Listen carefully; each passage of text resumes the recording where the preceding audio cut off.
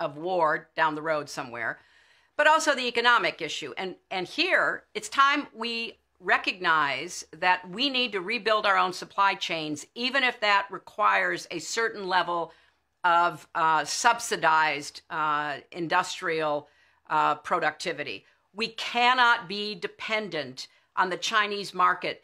It's not only bad for our economies, it is bad for our geopolitical strategic interests.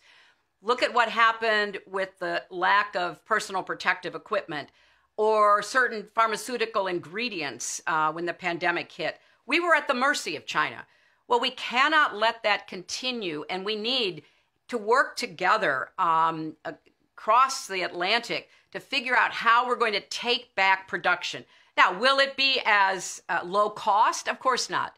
And how do we set our tax systems and other uh, arrangements so that there are incentives for our businesses to return uh, to Western democracies to produce things. For people who say, "Oh well, you know that that that disrupts the market," China has disrupted the market. China is not a free market economy. We tried. We let them into the World Trade Organization. We sent our businesses over there. We made trade deals. They are a controlled top down economy. You will never compete and win against them unless you take back the means of production.